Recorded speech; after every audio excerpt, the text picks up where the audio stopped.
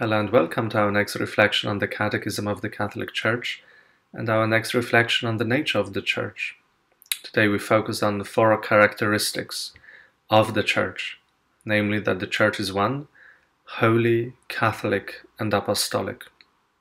What does it mean that the Church is one?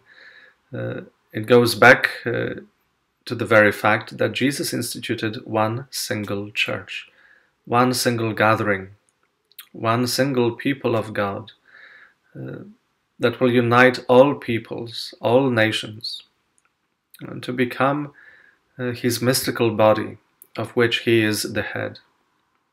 And so there is one body, there is one church, there is one spirit that unites all these people together into this gathering. There is only one spirit that distributes a variety of gifts to all these people. Uh, and so the church is really one and wherever you are, we share uh, that unity, we profess that unity, we show this unity in a visible way by professing one single faith, uh, by taking part in this one divine worship, by celebrating the same sacraments, uh, by being governed, shepherded by the successors to the apostles, the bishops. And so we are truly one. And uh, that was our Lord's prayer for the church, uh, for his disciples. Father, may they all be one, just as you are in me and I am in you. But we know that in history and from the very beginnings of the church, divisions started to emerge. Sin is an ever present reality that affects us that disturbs uh, and the plan of God within our lives. And so sin creates division. Because what happens even during the apostles' times, uh, people start forming cliques. Uh, you know, I am for Apollos, I am for Paul, I am for somebody else. I prefer this one, I stick with the other uh, we all form into little groups, into little cliques. Uh, and before we know it, we actually uh, contribute to division rather than to unity. Uh, and that goes also to our own small church communities, whether it's a parish or a diocese or so on. Uh, and so the unity that is there, that oneness of the church, uh, is something that is real, but it's something that in practice we need to work for. We need to try to maintain. Uh, we need to try to nourish and help it to grow. So, how is my life? How are my relationships contributing to the unity of the church? In the same way, the church is holy. It's holy because Christ is the head of the church. He is the foundation stone. He is the cornerstone. Uh, he has deposited His Spirit, His very self, to the church. Uh, and it is through that uh, that people who come to church, who are children of the church, uh, can be sanctified. Simply because the church has received that sanctity, that holiness from the Son of God, from the presence of the Spirit. Uh, and so the church is holy, whilst at the same time the church is full of sinners, because apart from our Lord Himself and our Blessed Mother, uh, the Virgin Mary, the Immaculate One, all of us sin to smaller or lesser degrees, but we are all tainted. Uh, we all are marked by sin in our life. Uh, and so, on the one hand, the church is holy, but her members uh, have to always strive to attain holiness, have to always be converting, have to always be renewing themselves uh, in order to reach and attain real holiness. So, we need to hold these two together because we might have strange expectations, maybe, of one another or uh, or of the members of the church and we forget the reality of the fact that the church is there for sinners. Christ has called sinful people uh, to set them free, to transform them. And so we are in the process of that transformation. Uh, we come to church because we want to be holy, not because we are holy.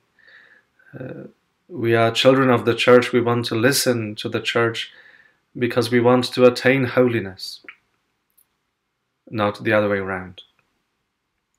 The church is Catholic, as the name suggests. It means the church is universal. It is for everyone. Uh, the mission of Jesus is the mission of the church, and the mission of Jesus was to save all humanity. Go out, proclaim to all nations, baptize all nations, in the name of the Father, the Son, and the Spirit. Help people to enter into a life of communion with the Holy Trinity. That is the mission of the Church. And that mission, it means we are being sent to the whole world. Uh, there is no uh, borders here. And so everyone is welcome. Uh, as I mentioned yesterday on our reflections on the church, people join this community through faith and the sacrament of baptism. Uh, when it comes to the Catholic Church, uh, we also hear the expression the particular church. So we, in this uh, location, are a particular church, uh, namely when we refer to a diocese. So in the Southwark Diocese, uh, we are a particular church. And particular church is a community of Christians who are in communion of faith and sacraments, uh, as we are, uh, and we are united with our bishop. Uh, and together we are also united with the Church of Rome. Uh, and that union with our bishop is important to us, is essential to our own identity here in our parish.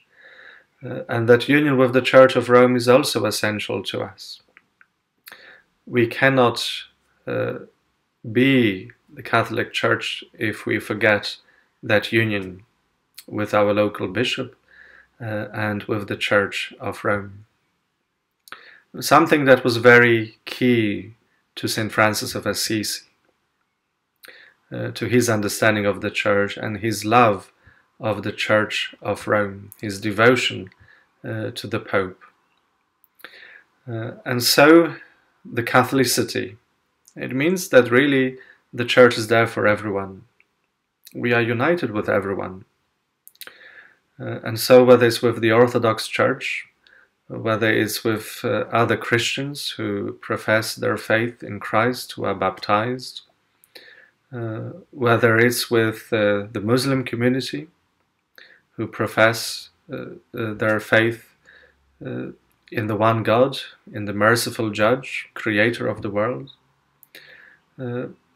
everyone else, people of good faith. the church is for everyone because Jesus has come on earth for everyone, not for a particular group of people. And so the mission uh, encompasses everyone. And that mission uh, also goes back to the other characteristic of the church that this church is apostolic church.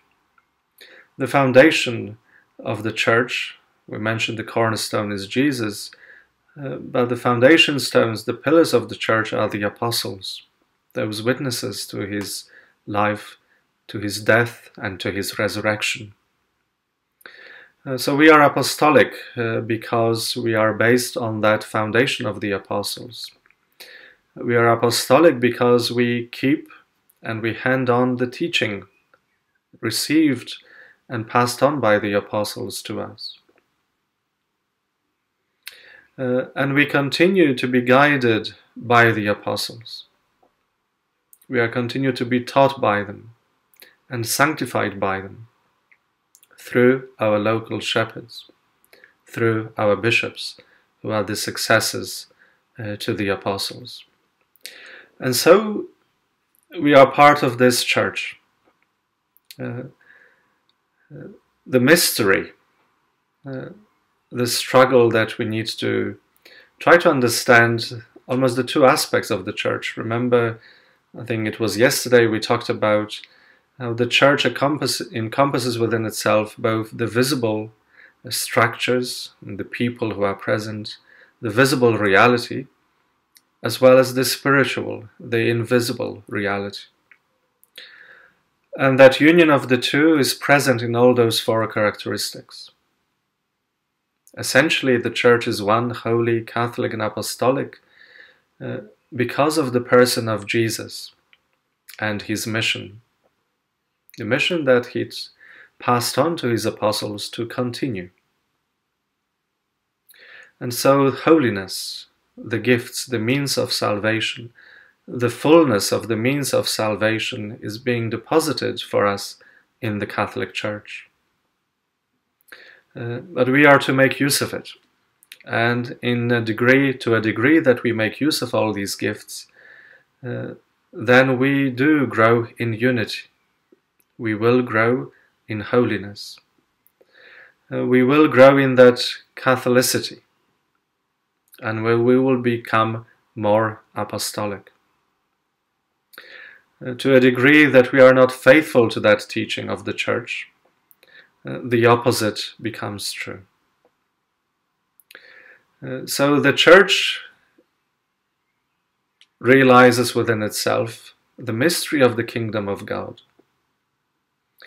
Uh, because the kingdom of God is already here, as Jesus says. It's here, it's in your midst. It's among you. But we also know that it's not fully here. We are awaiting uh, for the full reign of God to come. That's why we keep praying to our Lord, Come, Lord Jesus. And so the very being of the church uh, is a mystery. It is a sign, and it is a means of attaining uh, that what we are waiting for. So let's be thankful today for all the gifts that we have received through the church. Let's be thankful for the fact that Jesus has established the church for our salvation, for our good. Uh, and let us ask ourselves how do I contribute to the life of the church? If I am a member of the church, uh, if I am baptized, and I profess a Catholic faith that I am a Catholic, I celebrate the sacraments, then it is my responsibility to understand and ask myself how do I contribute to its unity? How do I contribute to its holiness? What is my contribution uh, to the fact that it's a universal church? It's meant to embrace all people. And how do I live out its apostolic dimension? Because it's yours and my responsibility to reflect on that and to try to put it into practice as best we can. God bless.